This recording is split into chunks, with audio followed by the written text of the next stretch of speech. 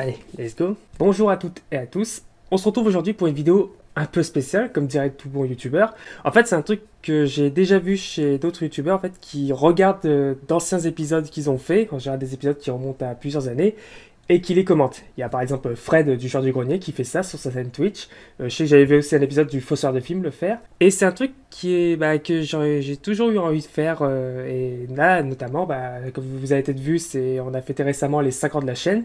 Et donc je me suis dit, bah tiens, euh, pourquoi pas regarder le premier épisode de, de Paléogie et le commenter. Ah oui, ah oui, ah oui donc euh, voilà, c'est ce que je vous propose aujourd'hui. Alors pour être honnête, euh, j'ai déjà regardé l'épisode en question. Tricheur C'est pas correct.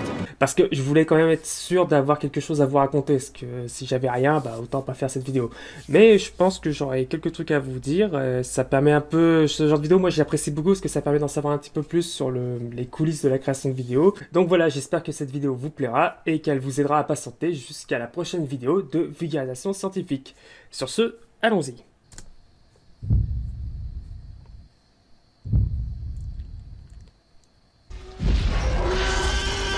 En 1993, bon là il n'y a pas trop d'originalité euh, par rapport à une vidéo sur Jurassic Park. atteint des records d'entrée. Il suscita aussitôt dans le monde entier une bon là la musique euh, le New York Times a même signalé une augmentation du nombre d'inscriptions bon, là, la musique, dans le secteur je pense que la musique l'a fait que j'ai dû sûrement prendre un enfin pas un strike mais qui sûrement la vidéo doit être monétisée mais que c'est Universal qui doit toucher l'argent enfin le les 1 dollar que ça doit que doivent leur rapporter des vues des vidéos la paléontologie 5 faits présents dans la saga Jurassic Park opposés à de vraies études de paléontologie. Eh, ça fait bizarre. le premier générique de paléogie.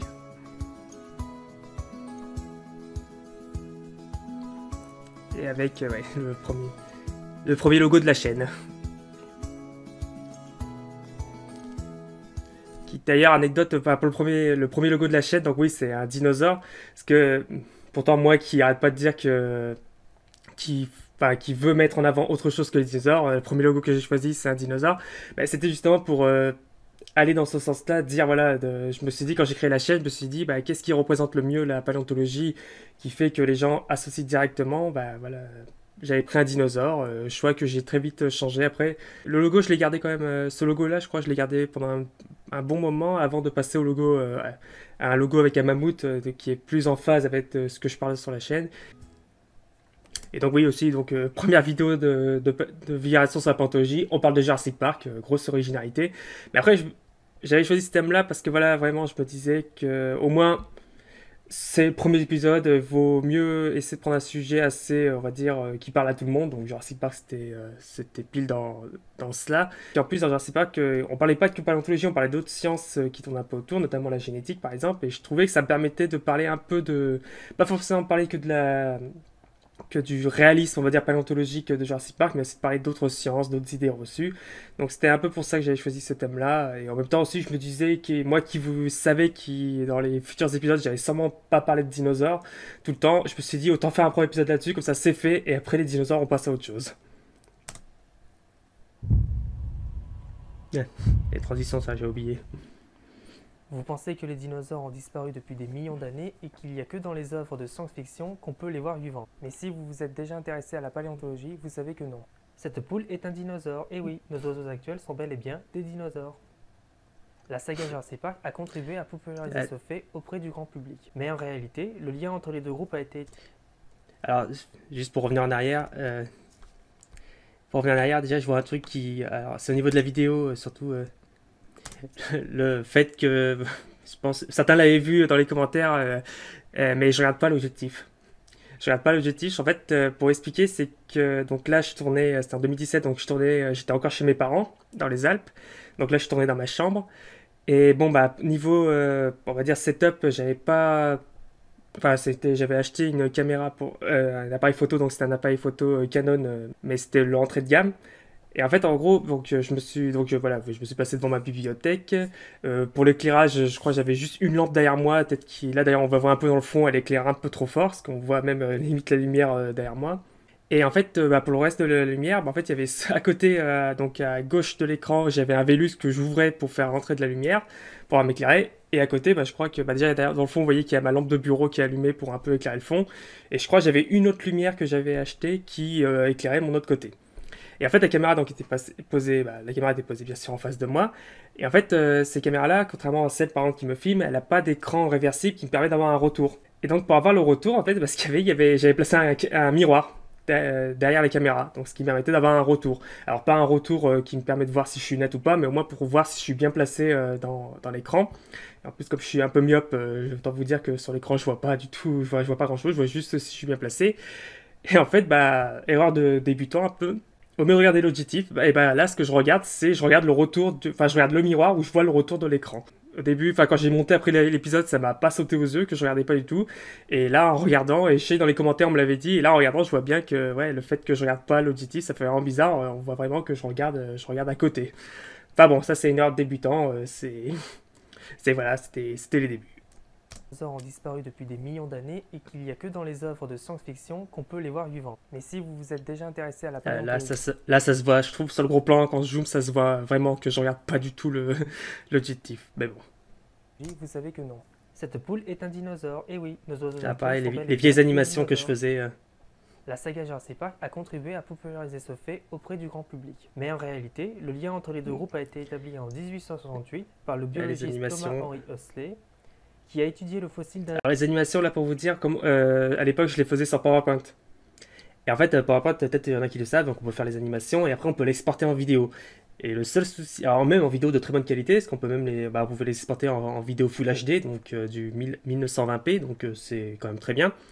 Le seul petit souci, c'est que au niveau de la fréquence image, en fait, on peut exporter que en format, je crois qu'on pouvait exporter qu'en format 25 images par seconde ou 30 images par seconde. Et sauf que ma caméra, elle filmait un autre format, enfin un autre, une autre fréquence. Donc c'est pour ça qu'en fait, peut-être certains remarqué. Alors moi, ça me saute aux yeux parce que je vois et peut-être qu'il y en a, ça va jamais déranger. Mais vous pouvez voir qu'au niveau des animations, alors, je sais pas s'il y en a une autre qui arrive. Voilà, il y a, il y a une espèce de traînée parce qu'en on peut il y, a, il y, a, une espèce de traînée sur les images et les animations parce qu'en fait, euh, la fréquence euh, image de, la, vidéo de l'animation n'est pas du tout la même que celle à laquelle j'enregistre avec mes vidéos. Donc c'est pour ça que ça fait cet effet-là. Bon, c'est pas catastrophique, mais bon, moi maintenant je le vois et je sais que maintenant j'ai changé euh, les animations, je les fais directement sur le logiciel de montage, donc ce qui fait qu'elles ont la même fréquence image que, celle que je filme, donc il n'y a plus du tout ce, souci-là. Mais bon, à l'époque, je savais pas du tout me servir euh, comme aujourd'hui du, logiciel de montage. Donc euh, d'ailleurs, pour ceux qui se posent la question, j'utilise Sony Vegas. Alors au début, j'utilisais même que le logiciel Movie Studio, et maintenant j'ai la suite complète Sony Vegas, qui est donc que licence bien sûr que j'ai acheté et qui est une licence à vie. Donc au moins, voilà, ça me permet d'avoir un logiciel euh, de montage euh, pour, euh, bah, à vie et pouvoir faire même maintenant des animations. Et je sais que maintenant, ils ont une nouvelle version qui permet encore de faire encore plus des animations que peut-être j'investirai pour, pour de futures vidéos. Parce que voilà, je commence à être maintenant vraiment à l'aise avec ça et ça me plaît beaucoup de créer des animations. Donc à voir pour la suite. Mais bon, voilà, pour un début, voilà, le logiciel vraiment que je maîtrisais à fond pour les animations, c'était PowerPoint. Et ça m'a permis quand même de faire des effets, donc j'étais plutôt satisfait à l'époque. C'est au sein de la famille des théropodes, famille où l'on retrouve l'ensemble des dinosaures prédateurs. Les actuels n'en ont pas, ils n'ont queue, alors que chez les autres actuels, les vertèbres de la queue sont fusionnées. Trois doigts séparés avec des grilles. Là, j'entends. Euh, Mais l'archéoptérix présente aussi des caractères que l'on retrouve chez les ça fait vraiment, ça, Là, je vois aussi un autre truc qui me saute, euh, enfin plutôt à l'oreille, c'est euh, il n'y a pas de musique de fond. Et on entend donc il n'y a que moi qui parle. En plus, je parle donc la voix là, je parle vraiment trop vite, je trouve moi. Ça va être un truc qui m'a été beaucoup dit beaucoup dit en commentaire euh, pour mes premières vidéos. Oui, j'ai tendance à parler un peu trop vite. Au début, surtout, en plus, j'étais stressé de, bah, de faire la vidéo. Donc je parlais hyper vite, on sent que voilà que je suis pas à l'aise et que en gros j'ai envie de dire le texte et de m'en débarrasser, que ce soit fini. Et sauf que je trouve là en écoutant, euh, oui, c'est que ça rend pas du tout euh, compréhensible mon propos. Pourtant le propos est pas très compliqué. Euh, là au niveau de la vibration ça va, c'est pas, je parle pas de tout trop compliqué, mais je m'entends, c'est trop, je parle trop vite. Je me souviens, je crois que c'est Cédric de Cédric Jurassic qui m'avait conseillé de mettre de la musique en fond, en fond sonore, pas trop fort, mais juste en fond. Et c'est vrai que là je me rends compte par rapport bah, aux vidéos plus récentes euh, musique de fond, ça accompagne bien la voix. Alors, faut pas bien sûr mettre n'importe quelle musique. Il faut peut-être pas mettre du hard rock euh, à fond. Euh, peut-être ça dépend après de comment on parle. moi, par exemple, pour, accompagner, c'est des musiques plutôt calmes, avec un rythme pas trop, pas trop accéléré, un rythme plutôt lent, et je les mets pas trop fort. Mais je trouve ça, ça meuble le, on va dire, le fond sonore de la vidéo et ça accompagne bien. Là, c'est vrai que la voix off toute seule, je trouve ça fait vraiment bizarre et c'est, il y a un truc qui, on sent qu'il y a un truc qui manque. Des membres antérieurs transformés en ailes, dinosaures classiques, à une morphologie d'oiseau. Comme l'explique le paléontologue Steve Bruzat, ce que nous considérons. C'est vrai, j'avais oublié que j'en je l'avais cité dans cette vidéo et peut-être qu'il y en a qui savent euh, maintenant. Bah, L'année dernière, avec euh, certains collègues de la Paléosphère, on a pu le rencontrer. Donc, euh, ouais, ça fait. Il y a 5 ans, voilà, je parlais de lui et 5 ans après, j'ai pu le rencontrer, discuter avec lui. Ça, voilà, c'est une forme de réussite. non, mais ça, ça fait vraiment. Ça fait. Enfin, ouais, là, avec le recul, ça fait vraiment bizarre. Comme le squelette d'oiseau classique. Mais je suis, je suis, super content. Hein. de plusieurs dizaines de millions de constitués de pièces de couleur bleue, et un autre organisme doté des mêmes pièces agencées à l'identique. Mais ça, j'étais content de cette. Euh... L'agencement similaire des pièces. Bah voilà, c'était le truc que je voulais faire un peu pour démarquer par rapport à d'autres contenus de vulgarisation. Par contre, chez l'un. De faire, euh, voilà, de faire des dessins, ces vidéos avec euh, des dessins et de faire mes propres dessins, parce que certains, c'est moi, qui, moi qui les ai faits. Euh, voilà, je trouvais ça me démarquait bien et j'aimais bien cette explication. Alors, je l'ai pas, c'est pas moi qui l'ai inventé, je l'avais tiré d'un livre. Euh, euh bah, je crois que c'était, oui, c'était celui-là, Comprendre et enseigner la classification du vivant. Donc, livre encadré par Guillaume Lecointre et c'était de là que je tirais cette explication et je trouvais qu'elle était pas mal pour, enfin voilà, pour expliquer ce concept d'arrêter d'utiliser chaînon manquant pour l'archéoptérix. Le membre avant est transformé en aile, mais pas chez l'autre. Et entre ces deux organismes, on peut avoir un intermédiaire qui serait doté des mêmes pièces, mais certaines seraient bleues et d'autres rouges relations entre des ancêtres et des descendants, mais il exprime des relations de parenté dans le sens qui est plus proche de qui. Et ces relations sont très utilisées. C'est aussi un truc que j'ai dû. Bah, la vidéo que j'avais fait pour l'esprit sorcier, elle était, euh, ça, ça, reprenait un peu ce truc-là pour expliquer euh, que les arbres phylogénétiques, c'est pas des arbres de parenté. Ça aussi, c'est un gros. Enfin, des arbres de parenté, des arbres entre des ancêtres et des descendants. Ça aussi, c'est une, des grosses idées reçues qu'on doit souvent reprendre euh, quand on fait de la vulgarisation sur la paléontologie. Lors d'analyse de phylogénie. Je n'aurai pas le temps ici d'expliquer les principes et les applications de la phylogénie, mais nous les verrons dans un prochain épisode. En attendant, comme le dit le... Bah, vous avez pu le voir normalement. Enfin après, j'ai prévu d'autres vidéos plus consacrées à la phylogénie, euh, mais il y a tellement de trucs à dire que voilà, ça, peut pas, ça pourra faire seulement plusieurs épisodes. L'anthologue américain Bob Baker, gardez bien à l'esprit que dans votre canari, il y a une parcelle de T-Rex qui sommeille. Tiens, je cite, je cite Bob Baker, moi, tiens. J'avais oublié ça, j'avais complètement... Euh, Enfin bon, après Baker, voilà, c'est alors il y a pas, j'ai pas grand chose à, enfin sur ses travaux euh, dans les années 80 tout ça, sur les dinosaures, il y a rien à dire. Bon, j'aurais plus à dire sur certaines de ses déclarations, mais bon, c'est pas le sujet. Ah oui, ça, là, j'aurais un truc à dire là-dessus. Le travail de l'équipe des effets spéciaux de Jurassic Park, qui a permis de donner vie aux dinosaures sur nos écrans, donne un résultat très éloigné des vieux films comme Le Monde Perdu ou King Kong. Dans ces films, les dinosaures sont montrés comme des lézards géants, lents et peu agiles. Mais dans Jurassic Park, non. Euh, là, il y a, enfin non, là, c'est ce qui m'a fait dire là, c'est le, le rythme. Je me, au montage, je me suis coupé en fait, je me coupe la parole en fait au montage. Enfin, je sais pas si vous avez bien vu, mais euh, je crois que j'avais même pas fini ma phrase que j'ai coupé le truc. Alors, euh, alors je sais que c'était un truc de montage, parce que voilà, pareil, le montage, j'ai appris sur le tas. Et je sais que j'avais regardé des conseils. Et je sais qu'il y avait certains qui conseillaient que pour rythmer une vidéo, ils conseillaient en fait de, quand vous voyez au montage votre banc, votre bande son de couper les silences, euh, enfin les, silences euh, a entre des texte. Et je pense là c'est ce que j'avais fait de, à certains passages, mais je me perçois que ouais, ça trop de rythme, ça, enfin, ça tue le truc là. C'est, on a l'impression que je me coupe la parole. Ça, là ça faisait vraiment bizarre à, à entendre euh. et je pense que des fois d'aménager, bah, ce que j'ai fait maintenant pour mes épisodes un peu plus récents, d'aménager des fois des, petits moments de silence pour laisser autant aux spectateurs de on va dire de digérer l'information qu'on vient de donner, parce que des fois, voilà, quand on fait une vidéo de des fois on donne plein d'informations à la suite, et si on laisse pas le temps au spectateur de digérer l'information, bah peut-être on va le perdre. Et là, là par exemple, concrètement, euh, même moi qui connais la vidéo, j'ai l'impression de me perdre. Donc euh, ouais, ça, ça aussi, c'est un truc que j'ai sûrement, amélioré euh, par la suite. mais là, ça, ça, me saute, ça m'a sauté aux yeux. L'image de cette scène où on voit un brachiosaure se déplacer majestueusement sur la terre ferme, alors que dans de vieilles illustrations, ah, elle est très connue cette illustration-là. Il été montré comme passant le plus clair de son temps dans l'eau, animal dont la température corporelle va varier en fonction de la température de son environnement. Ainsi, pour se réchauffer, ces animaux doivent se placer. Alors ça, je vais le dire après, mais pourquoi j'ai mis cette, cette adaptation A l'inverse, les animaux à sang chaud, comme les mammifères et les oiseaux, ont une température interne stable. Ils tirent leur chaleur de l'énergie fournie par leur nourriture. Alors oui, ça, vous avez vu là les termes, euh, enfin les espèces de petites annotations que j'ai rajoutées. Bon, c'est un peu maladroit, c'était du, c'était du bricolage. Parce qu'en fait, voilà, quand je parlais de sang chaud, sang froid, alors j'étais persuadé qu'il y en a qui allaient venir en me disant, eh, on dit pas sang chaud, on dit pas sang froid, on dit euh, donc là poïchéotherme et euh, homéotherme.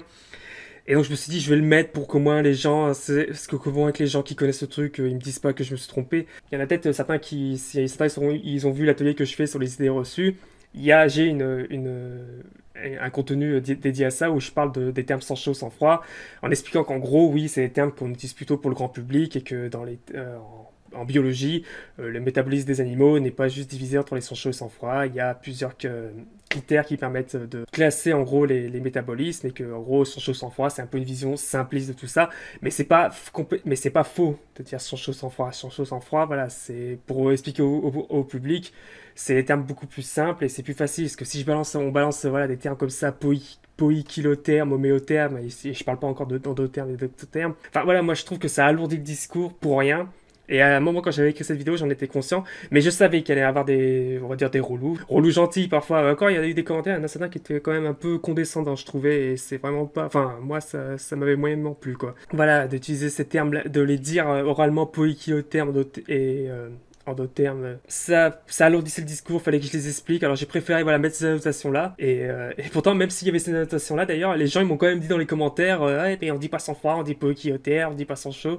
Donc en gros, ça pratiquement ça savait à rien. Les gars, c'est juste qu'ils étaient. Ils ont, il y en a certains, ils ont voulu faire intéressant. Donc voilà, mais donc euh, en gros, si vous dites sans chaud, sans froid, c'est pas, pas la mort de chaleur. Pour déterminer le métabolisme des dinosaures, des bio... la photo de chat là, c'est un des chats c'est un des chats de mes parents qui donc s'appelle Gibbs, si vous voulez savoir. Donc euh, ouais, je, je, l'avais déjà mis, euh, je l'avais mis, je voulais le mettre en valeur. il me fallait une photo de mammifère, donc euh, il y en a, à la maison on en avait trois, donc voilà, j'ai choisi celui-là.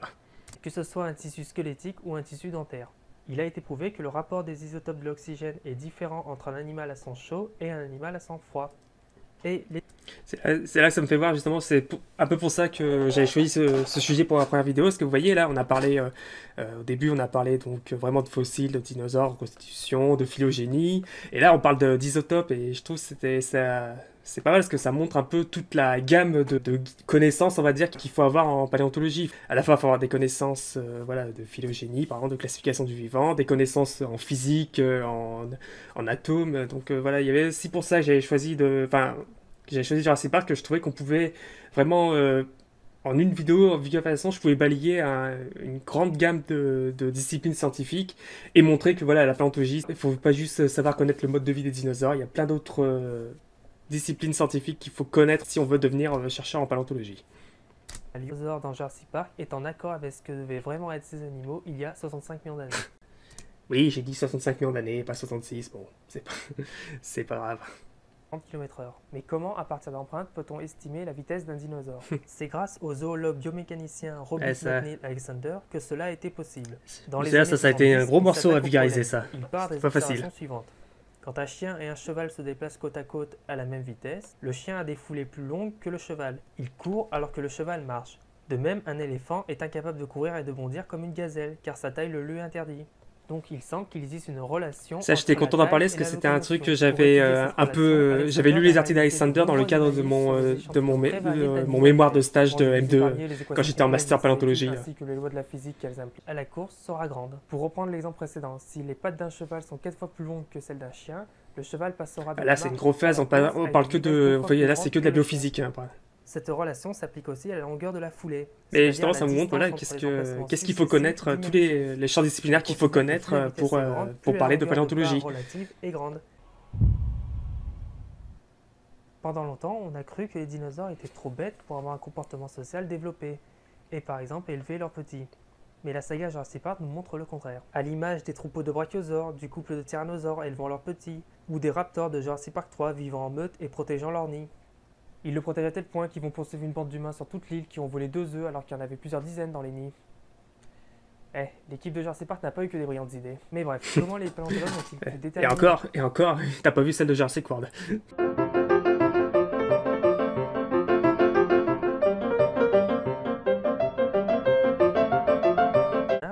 Espèce de la famille des Ipsolophotontidés, de petits dinosaures. J'ai bien, vous entendez que j'ai bien galéré euh, à les dire. C'est aussi pour ça que je pense, quand, comme je galérais à les dire euh, sur l'image et l'animation, j'ai voulu les diviser le mot pour qu'on comprenne bien ce que je disais, parce que j'ai galéré euh, à, à, prononcer ce, ce, terme. Tout comme Jack Horner, mais rien d'étonnant puisque l'auteur Michael Crichton a lu les travaux de ce dernier et s'est inspiré de lui pour créer le personnage d'Alan Grant. C'est vrai que Jack Horner, par exemple, il a, il a un parcours assez atypique en paléontologie. Alors même si euh, peut-être certains euh, ont entendu ces déclarations récentes, notamment sur le Tyrannosaurus, et je pense que beaucoup de la communauté scientifique des paléontologues ne partagent pas les idées de Jack Horner. Mais il a vraiment un parcours, euh, vraiment un parcours atypique, et en plus, voilà, les connaissances qu'il a apportées, les découvertes qu'il a fait sur les, bah, les et les comportements sociaux des dinosaures, c'est un truc qui a vraiment changé la vision qu'on pouvait se faire des dinosaures, et c'est pas mal enfin, c'est vraiment super que Michael Christian se soit inspiré, on va dire, de, son, de, ses, de ses recherches et de son parcours à, Jack Horner pour créer le personnage d'Alan Grant. Les dégradés. À la vue de cette préservation exceptionnelle, Poinard se demande si l'ADN de ces insectes a pu être préservé. Exceptionnel, il me semble. J'avais, j'avais galéré ce mot-là. Je sens là comment je le prononce, euh, c'est que ça devait faire au moins la, la cinquième prise que je faisais où j'arrivais pas à le prononcer. Euh, donc, euh, et là sur la vidéo, je vois que ouais, je souris pas du tout, je suis vraiment pas à l'aise et que j'ai dû. Ça m'arrive toujours, mais il y a des vidéos, il y a des prises que j'ai dû, je pense, faire une dizaine de fois et peut-être au bout d'un moment de la faire, bah, on est agacé et ça se ressent un peu dans le. Là, je trouve, ça, surtout celle-là, ça se ressent un peu que j'étais agacé. 5 millions d'années c'est-à-dire avant la disparition des dinosaures. Après de longues bah, Je sais pas si vous avez vu, mais euh, en gros, euh, avant que là le plan coupe, vous avez vu, je baisse les yeux, parce qu'en fait, à côté, j'avais un petit tabouret où j'avais posé mon texte. Parce qu'en fait, il faut savoir, s'il y en a qui se demandent, euh, tout est scripté dans mes vidéos, honnêtement. à la ligne presse, c'est vraiment, j'écris tout. J'écris les blagues aussi, euh, les, euh, les vidéo que je vais utiliser, je l'ai déjà en tête et en général sur le script j'écris et je mets entre parenthèses la référence d'où elle vient pour que... Et donc en fait les phrases je les dis vraiment... Alors ça a un peu changé maintenant mais à l'époque vraiment les phrases, je regardais la phrase, je la prenais, enfin je la, je la prenais par cœur, j'allumais la caméra, le micro et je disais la, je disais la phrase. Et en fait, là, bah oui, j'avais ma phrase, j'avais mon texte, c'était à poser à côté de moi, et bah là, je, un peu trop précipitamment, bah je, je, baisse, je baisse les yeux tout de suite pour regarder si j'ai bien dit ma phrase comme il faut. Euh, ça, c'est un truc. Maintenant, maintenant euh, euh, enfin, j'arrive un peu. Le script, ça reste une base, mais j'arrive quand même un peu à me détacher, parce que des fois, je m'aperçois qu'il y a des phrases qui sont à l'écrit, qui, quand je les dis à l'oral, ne, ne rentrent pas bien, ne sont pas claires, parce que des fois, on, on parle pas comme, comme on écrit. Et inversement, on n'écrit pas quand, comme, comme, comment on parle. Donc voilà, mais là c'est drôle de, voir, de, me voir baisser les yeux à ce moment-là. Je crois que ça va, un autre passage à vidéo, je vais, il y a le même truc. Euh, maintenant, c'est un truc que j'ai essayé de travailler. Mais il faut noter également que l'étude de tous les éléments inclus dans l'ambre peuvent permettre de reconstruire précisément ah, tiens, je crois c'est. Je crois là, voilà, c'est euh, un des rares plans où je, je regarde bien l'objectif là. Je crois qu'il y a que ce plan-là. Le reste des plans, j'étais complètement à côté. Comme exemple notable en France, il y a les ah, Et il y a encore eu le plan, j'ai coupé trop vite, euh, j'ai baissé vite les yeux pour regarder mon, texte. Les dinosaures sont partout. Ils bougent sur nos écrans de télévision. J'avais osé mettre euh, une image de Jurassic World. En plus, c'est bon. Je dis le monde des dinosaures et qu'est-ce que je montre C'est pas un dinosaure. Bon. Se cache dans les rayons des jouets, dans les musées. l'image euh, qui est sur l'écran à droite, je veux savoir si, combien, combien connaissent parmi-vous Dinotopia?